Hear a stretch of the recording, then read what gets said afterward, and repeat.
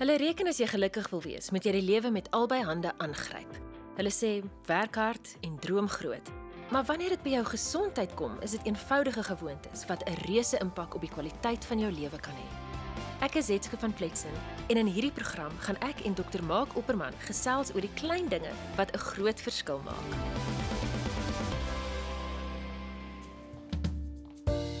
Ons almal wil gesonder lewe, keer op keer trap ons in dieselfde gat. Ons sny een ding uit, sit 'n ander ding by, net om weer iets anders uit te sny. En dan wonder ons hoekom dit so moeilik is om daai ewewig te vind.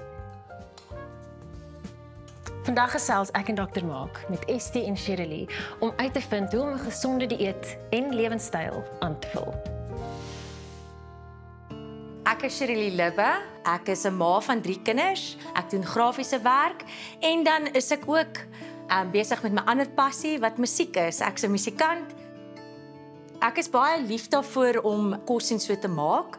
So ons probeer gewoonlik as ons nou by die huis is dat ek elke aand vir ons lekker kos maak en so. Maar partykeer dan raak dit bietjie gejaag en dan moet ons maar so nou en dan oor 'n naweek bietjie ehm um, jy weet takeaways gaan koop een struikelblok sal ek sê in my in my lewe is maar om om tyd te maak vir alles. Vir alles 'n mens kyk nou om na jou gesin te kyk, die regte kosse en goeders voor te sit wat gesond is want 'n mens probeer maar as 'n ma altyd die die gesondste manier vir jou die kinder jou kinders en jou hele gesin sorg.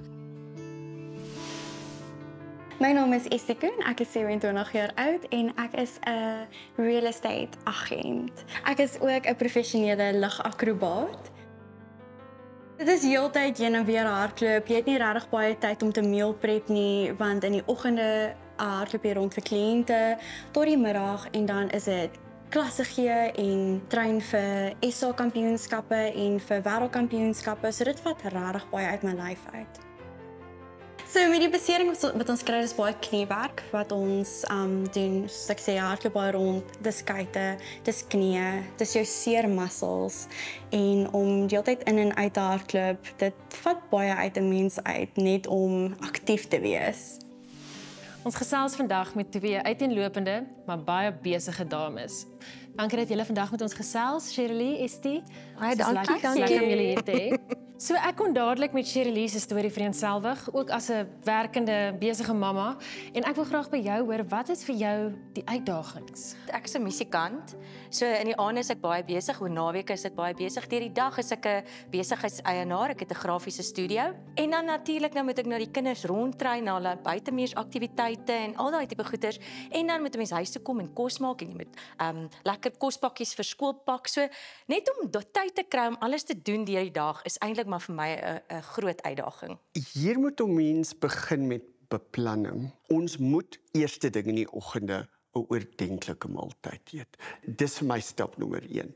Dan moet ons kyk na die verskeidenheid tipe kos wat ons eet. So dit is baie belangrik om van die begin af goeie lewenstyl te kry. Eet gereeld, nie laat in die aand nie, Vasting is nie baie goed vir ons nie, maar ons moet eers ding in die oggend eet. Ons gejaagde lewenstyl veroorsaak dit tekorte in ons liggame. Absoluut. Ons het meer voedingsstowwe nodig omdat alles verkeerd gaan. Ons slaap nie genoeg nie. Dit het 'n impak op ons stresvlakke en dit beïnvloed ons mikrobioom, daardie organismes wat binne in die liggaam leef. So selfs al voel mens jy eet gesond en gebalanseerd, is dit nog steeds nodig om aanvullings daarby te neem. Ek sal sê as jy nie organies jou eie groente ensovoorts op 'n konstante basis groei, organiese vleis kry nie, ja, dan gaan ons voedseltekorte hê. Ons moet onthou dat ons water is besoedel met fitoestrogene. Dit kom van ons plastieke af. Al seker die goeders en dit het 'n negatiewe invloed op die funksionering van ons spysverteringskanaal. So dokter, ek het ook tieners Wat sal die tekens dan wees dat hulle nie dat hulle gesond leef nie? Want ek weet my my kinders het akne. So, ehm um, is dit dan 'n teken van die regte kosse of of is dit iets anders wat hulle tekort het van? Ek dink baie keer het ons 'n wanopvoeding oor die kos wat ons eet. Dis nie baie keer die tipe kos wat ons eet nie, maar die voedings en die minerale tekorte wat ons kry as gevolg van die verkeerde kos eet. Ek wil net vra, as 'n professionele akrobaat, watse mineral deficiency gaan dit my affekteer? Wat ons moet verstaan is dat ons minerale, ons vitamiene speel 'n essensiële rol in die produksie van spier en proteïene. Dit is ook essensieel en kardinaal vir genesing. So jou spiere moet genees, ons moet ons immuunstelsel sterk hou, ons moet seker maak dat ons al die voedingsprodukte wat ons nodig het om goed so spiere, uh, kollageen ensovoorts te maak. Ek dink een van die goed wat ons onderskat is die rol wat ons spysverteringsstelsel in elke liggaamsstelsel speel. Dokter, ek dink jy het nou nuwe betekenisse gegee aan jy dink met jou maag. Ehm um, Zetska absoluut ons verwys baie na die spysverteringskanaal as die tweede brein. Ons enteriese senuweestelsel het amper 'n gelykstaande hoeveelheid neurone en senuweeëindes as wat daar in die totale brein is. Die brein en die spysverteringsstelsel is in direkte kommunikasie met mekaar deur 'n groot senuwees, die vaagsenuwee en dan die effek van ons neurotransmitters.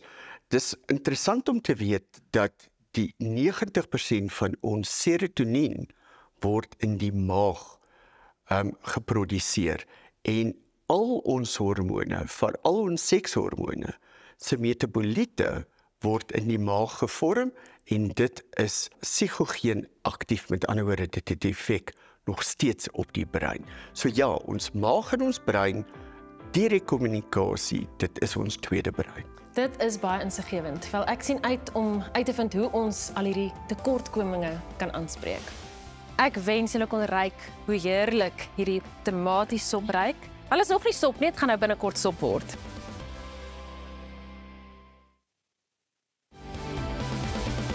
Ek en dokter Maak gesels nog lekker met Shirley en Estie en ons het gepraat oor die tekortkominge van minerale in ons liggame. Behalwe vir gesonde dieet, wat anders kan mens doen om daai balans te vind? Fisiese aktiwiteit.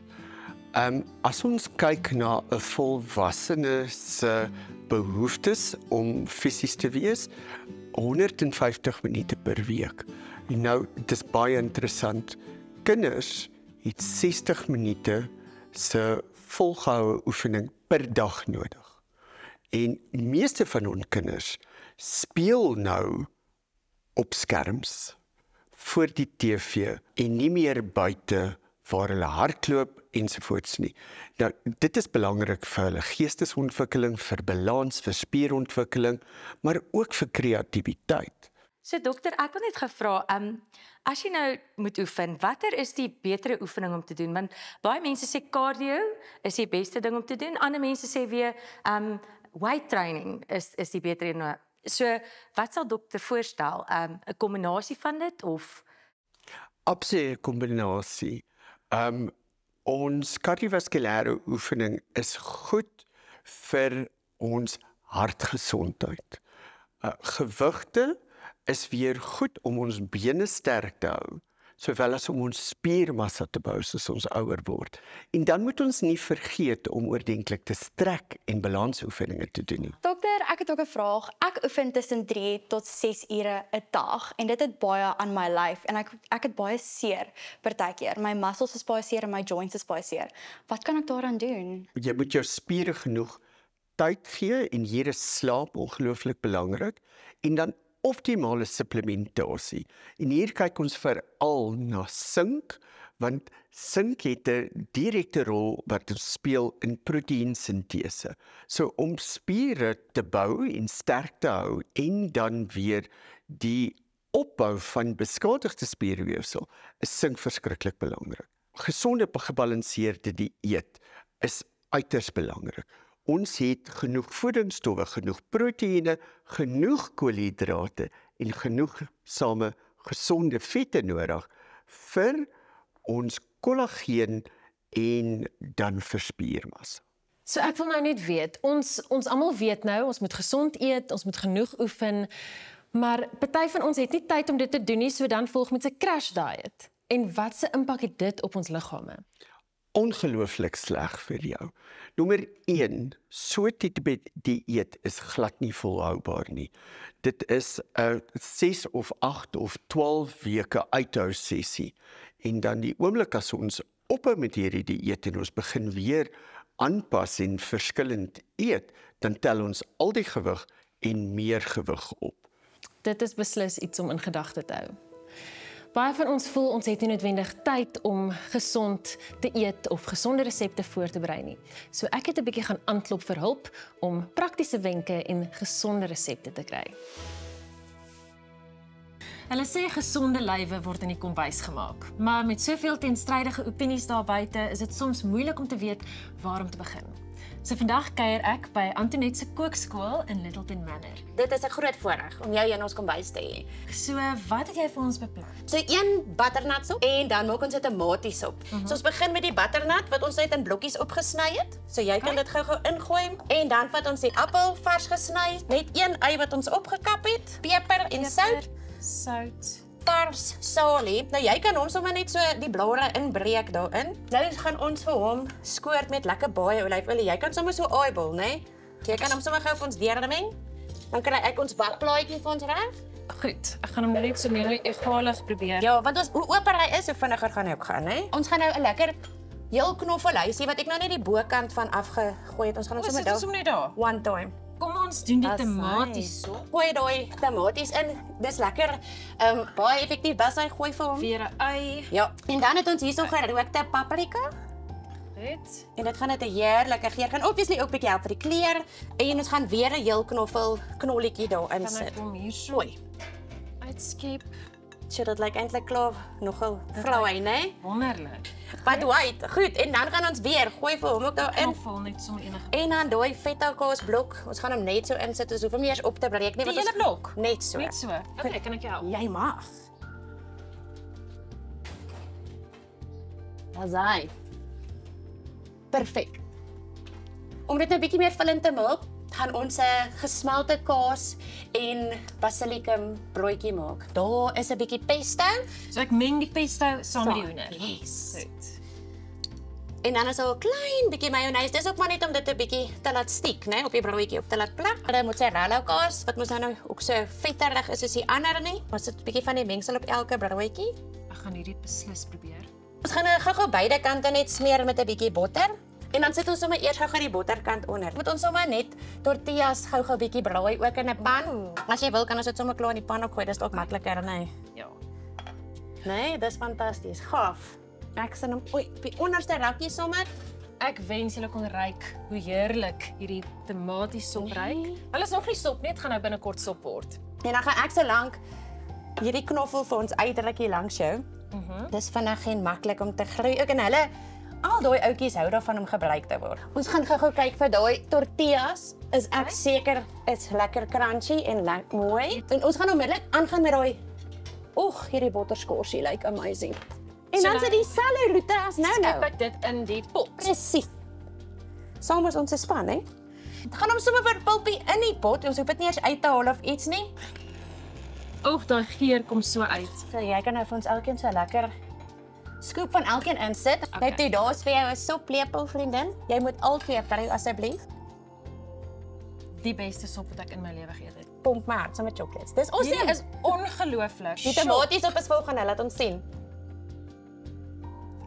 baie baie lekker. Hy's hy so effens spicy, vars, maklik bekombaar. Meeste van ons het hier in ons yskas, as jy mooi daaraan dink, né? Ek hoop julle gaan hierdie resepte by die huis probeer en net so lekker eet. Baie dankie. Groot plesier, baie groot plesier. Hierdie help my verskriklik baie te slaap. My muscles wat so baie seer is, dit help verskriklik baie.